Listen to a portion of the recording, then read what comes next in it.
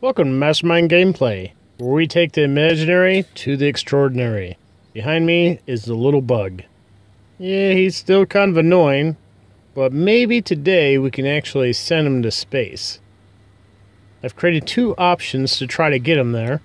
One is a drone-driven automatic system where, you know, he's just going to attach onto the front of it, but he's protected by these guns, so that's a plus. It's very basic, hydrogen powered, hydrogen driven. You can see I put a few lights on here, so if you're traveling at night, it is somewhat convenient. There's also a small connector that extends via piston, so you can easily reload your hydrogen or collect more ice in order to create hydrogen. Over here is our next model. This is essentially a carrier. It is manually operated, but the bug can sit on the back of it and ride all the way to space with us. It is also hydrogen powered with hydrogen thrusters, and in the front we have a few Gatling cannons, just in case we run into any funny business. And it's fairly sleek design, two large hydrogen thrusters in the back, along with another small connector connected to a piston, so you can easily, again, replenish your ice. All ready to go, huh? Okay, so I don't think it'll land automatically. I haven't set that up yet. So we may have to consider how to actually mount him to one of these vehicles. Let's see if we can get him to follow us over here. The bug isn't that intelligent. It kind of hovers in the wrong spots most of the time. But as soon as he gets to a clearing, we should be able to remote operate and make him land and turn off his auto AI controls. We just stop the following here. And then for reassurance, I toggle the block off. And then your AI flight move is going to also be turned off. These are our controls, so we have a connector control and a camera control. These will be very handy when we're actually attaching them to one of the vessels. Let's see.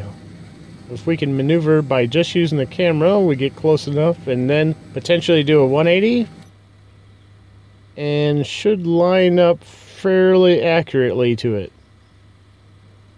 All we need to do is have the two connectors align and their magnetic field should pull it into the right position. Well, sort of. That's not really the right position at all. Let's try that again. see, I think it's over here. Or, you know, it comes to mind sometimes that I forget to turn the connectors back on, and that's probably our issue. Small connector here, and of course it is in the off position. Let's try this again. There we are. He snaps right into place. It's always important to follow those fine, small details, I suppose. As soon as he's connected, you see that his thrusters have turned off. And now we should be able to have him follow us. We'll get into the carrier here. But we're going to remote operate the other drone. I called it the Bug Booster. So I've hit the terminal here. We're just going to set it up the same way the bug was. So the bug's controls, it seems that they're still off. So we'll go to AI basic task and AI flight move and make sure both of those are on. Precision mode on, we don't need it to crash into anything. And I think that's about it. AI offense combat is off.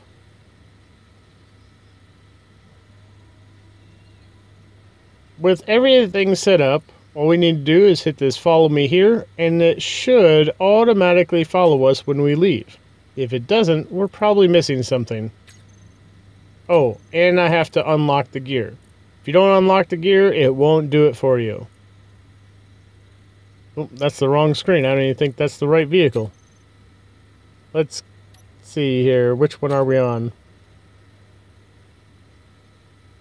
Remote access and then we'll go to control the bug booster this time.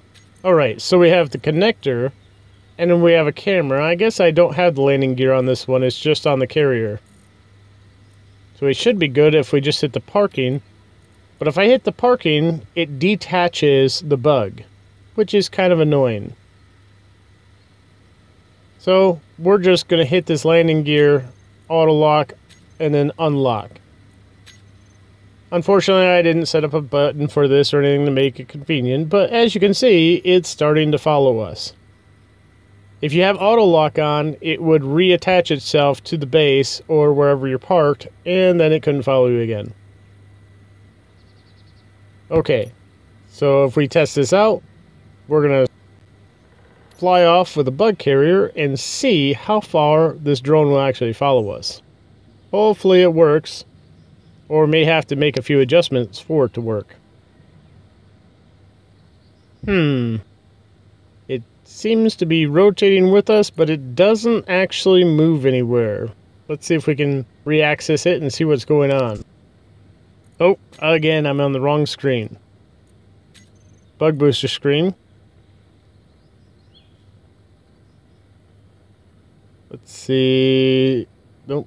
Nope, don't want that. Where's the remote at? I always forget to check the remote on these darn things. So remote control, it should be set to the main remote control. I think that's how I had it operating before.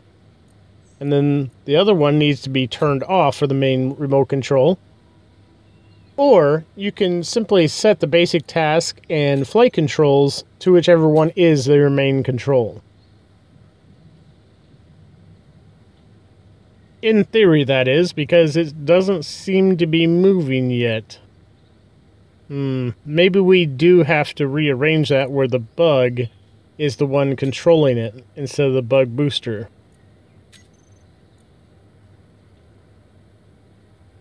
So we'll go back to the bug booster and we'll just turn off the remote. And of course, make it so it's no longer your main remote control.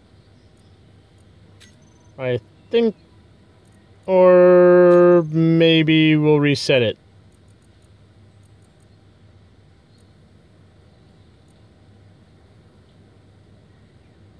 At this point, you may get lost in the process, but I promise you, with that rewind button, is very easy to figure out. Main control still on, and maybe if we just hit the control button by the main control checklist, it'll work. Nope, nothing.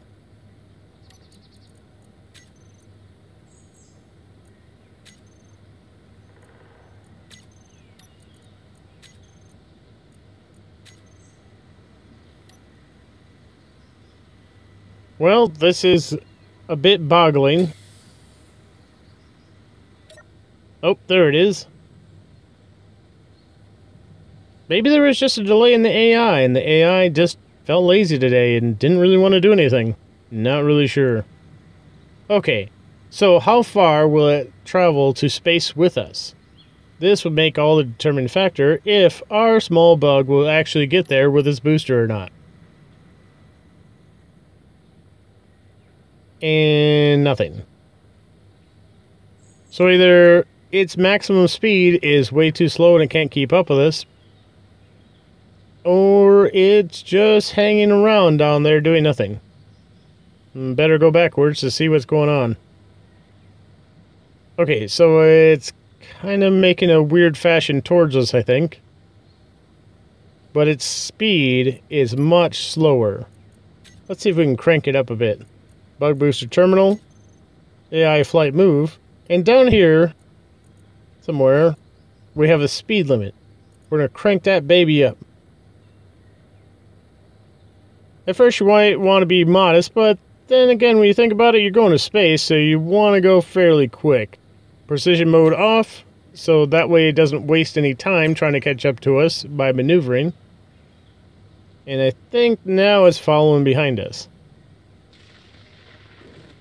However, this is going to be a long trip if this is all we could do at one shot.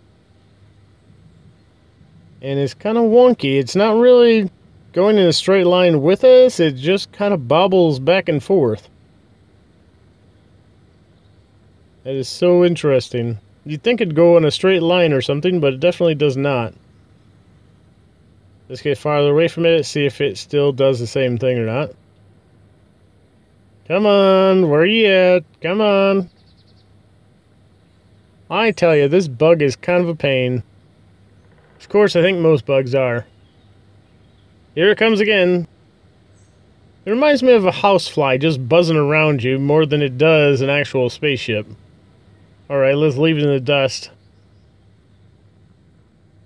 And we definitely left it in the dust because it's not even following anymore. What is going on with this thing? Alright, alright. It's just wandering around on its own. I think the artificial intelligence definitely gets confusing on this game. Not sure. But at least we have it. Otherwise, we'd be doing everything manually.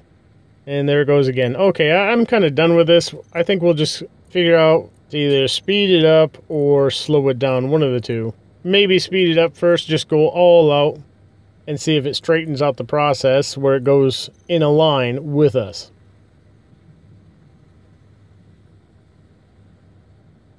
That's the greatest part about space engineers is being able to experiment and usually destroying a ship or two before you figure it out. Or getting very frustrated because this thing is powering itself straight up instead of actually with the rear thrusters. It's just going from the bottom up. And then it's kind of like uh, drunken sailors because it's all over the place.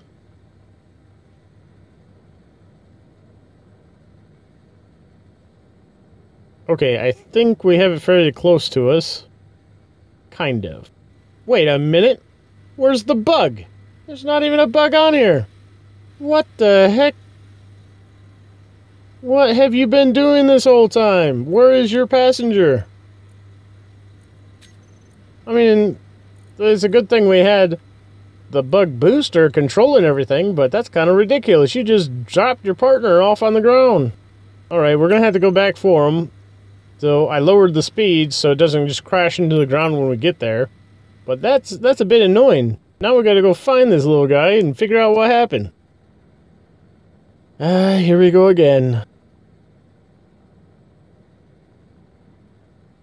It's gotta be somewhere around our base. I don't think it would have gone too far, but I'm not sure what happened. It doesn't have follow me on it, so it's not gonna follow us. We're just going to have to find it. Luckily, this bug carrier is quite a bit faster and able to maneuver quite easily. So it shouldn't take us long. I think that's it over there, actually. So it dropped it off like 50 meters above the ground. And then just stopped. Yeah, I like how it's still staring into space like, man, I'd really like to go to space right now, but my ride left me. The worst taxi ever. See, that's why you don't want an AI controlled taxi, because sometimes you just won't get to your destination. Okay, let's let's wrangle this thing back down. And I think instead of putting it on the bug booster, we're just going to put it on the carrier. So remote access. And let's see. Yeah, remote control. Make sure it's back on. Everything's good. Basic task off, basic move off. So we should be able to move this thing if we link into it.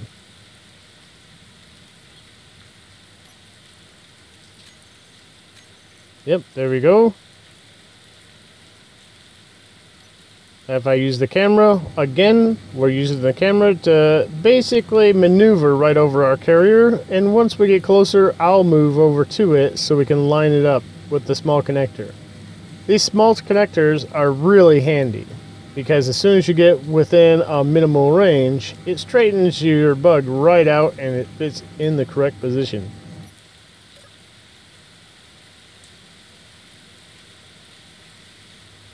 That should be pretty good. We'll probably be able to see it from over here. Alright. Again, just going to move it over here. I am not sure where the bug booster is, by the way. It's got to be around here somewhere. Not too worried about it. Eventually it'll make its way back. Come on, bug, we got this. Nope, wrong way. There you go. Oh, and down just slightly. Oh, it's a little jolty here. It's a small confined space. I think it's lined up, so we'll just go ahead and hit this connector. And lock. Immediately when it locks, the event controller turns off your blades. It doesn't affect your actual bug carrier. Yeah, I don't see the bug booster anywhere. That is just one crazy ship, man. That's the carrier. The bug booster is still over 500 meters away. What is this thing doing? Uh, somewhere in this... Wait, wait. There it is. There it is. I think it's coming in hot. Or it's going somewhere else. I'm not really sure.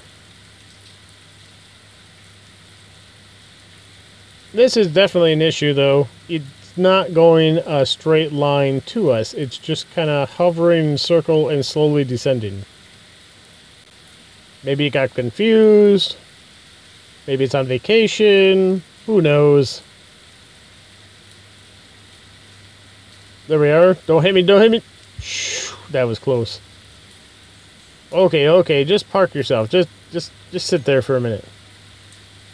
I think we'll just uh, attach this thing to the ground after we have it stop following us. That's all we need is a big bug booster following us around and then waiting for it to get back. Let's see if I control it. Straighten it out here with the ice and then potentially lock it into position. There we are. Alright, without further ado, we're going to take this bug carrier all the way to space and see if we can make it there. Hopefully, it the bug doesn't fall off the back. I mean, that, that is strange. It disconnected from the bug booster. Poor guy was just left there all alone, freezing, surrounded by nothing but ice. Anyways, enough with the dramatics. Let's get out of here. Now this part is fast forwarded. It does take about 10 minutes to actually get to space with this thing.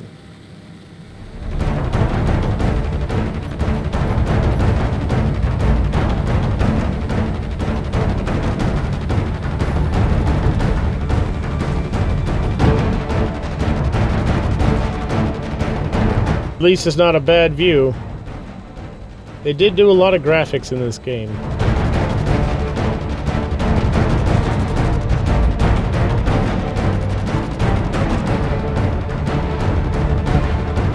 We made it through the atmosphere. Home stretch, boys. Home stretch.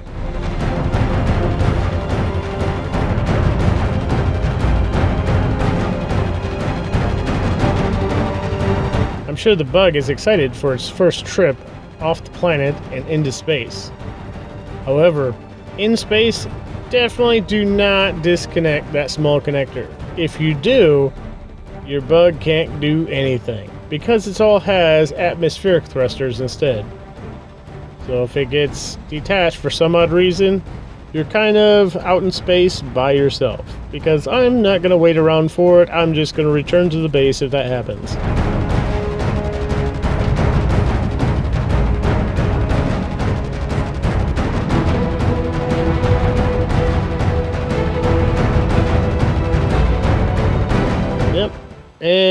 I think we've reached the edge. There doesn't seem to be any more gravity. We're not accelerating anywhere. And our thrusters, even though I have the dampeners on, are not changing. So this is a good sign. Well, we finally made it to space with our bug. As always, thanks for watching the video. If you have any questions or comments, please leave them in the comment section. Otherwise, Thanks for watching the video, and don't forget to hit that subscribe button. I appreciate it.